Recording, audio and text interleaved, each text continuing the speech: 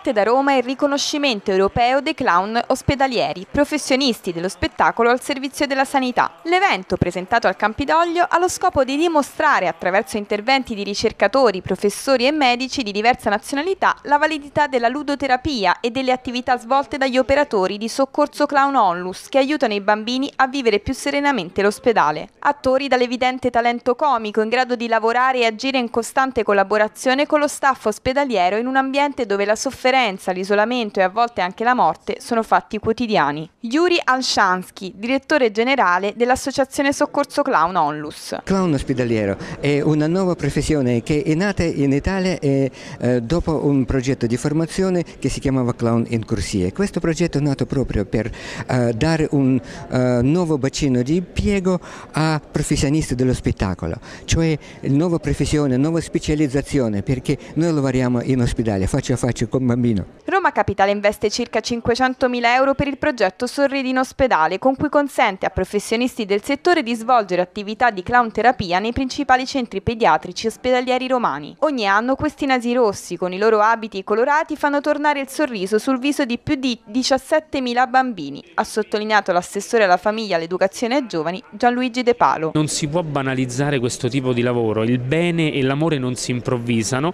e loro ci mostrano attraverso la loro formazione, la professionalità che anche facendo il clown dottore lo si può fare in vari modi o improvvisandolo oppure facendolo con una formazione tale che ti permette anche di portare un contributo reale. Diversi gli interventi di medici ed esperti sul tema. Da tanto tempo a Siena ci occupiamo di clown, di clown terapia, in particolare i bambini vengono accompagnati in eh, sala operatoria e i nostri studi sono proprio fondati su queste ricerche, cioè di vedere se i clown possono diminuire il trauma e il dolore nei bambini. Abbiamo voluto vedere anche eh, quanto la presenza del clown possa ridurre l'ansia dell'infermiere. L'infermiere è una figura fondamentale in un reparto di chirurgia pediatrica in quanto è il primo eh, che accoglie il bambino nel suo ingresso in ospedale. Abbiamo accolto l'associazione Soccorso Clown da diversi anni eh, con noi e naturalmente eh, loro ci sono molto utili per quella